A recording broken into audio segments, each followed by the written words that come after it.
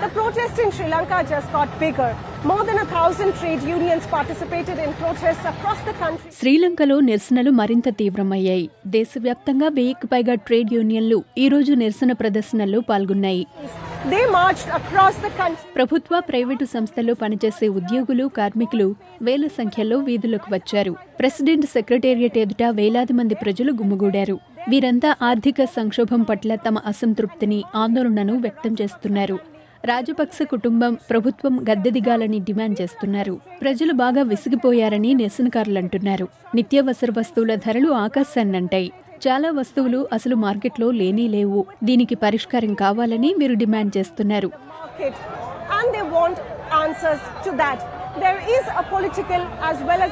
శ్రీలంకను ప్రస్తుతం ఆర్థిక రాజకీయ సంక్షోభాలు రెండూ కుదిపేస్తున్నాయి. దీన్ని పరిష్కరించాలని నిరసనకారులు డిమాండ్ చేస్తున్నారు. ఆర్థిక రంగంలో చూసినప్పుడు ఆర్థిక మంత్రి అలీ సబ్రీ నాయకత్వంలో ఒక బృందం ఐఎంఎఫ్ తోనూ ఇతర రుణదాతలతోనూ భారత్ చైనా వంటి దేశాలతోనూ సంప్రదింపులు జరుపుతోంది. అత్యవసర నిధులు తక్షణ రుణాలు పొందడం ద్వారా ఆర్థిక సంక్షోభాన్ని పరిష్కరించాలని ప్రయత్నిస్తున్నారు.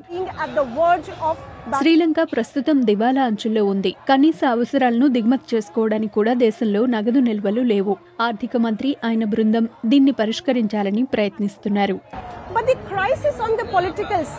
మరోవైపు దేశంలో నెలకొన్న రాజకీయ సంక్షోభానికి మాత్రం ఎలాంటి పరిష్కారం కనిపించడం లేదు. ప్రభుత్వానికి విపక్షాలకు మధ్య టగ్ ఆఫ్ వార్ కొనసాగుతోంది. మరోవైపు ప్రభుత్వం లోపల కూడా అంతర్గత పోరు చెలరేగింది. అవిశ్వాస తీర్మానానికి కావలసిన మెజారిటీ తమకు ఉందని వచ్చే వారం పార్లమెంట్లో తీర్మానం ప్రతిపాదిస్తామని విపక్షాలు అంటున్నాయి కానీ రాజపక్స కుటుంబం ఆధ్వర్యంలో నడిచే ప్రభుత్వం మాత్రం దీన్ని గుర్తిస్తున్నట్టుగా కనిపించడం లేదు. ఇకపోతే అవిశ్వాస తీర్మానానికి ముందే తన సోదరుడు ప్రధానమంత్రి మహీంద్ర రాజపక్స ఆయన మంత్రివర్గం అంతా రాజీనామా చేయాలని అధ్యక్షుడు గొటబయ రాజపక్స కోరుకుంటున్నారనే రిపోర్టులున్నాయి. అంతర్గత కుమ్ములాటలు తీవ్ర స్థాయిలోనే ఉన్నాయి. రాజపక్స సోదరులిద్దరూ కూడా తాము అధికారంలో కొనసాగాలనే కోరుకుంటున్నారు.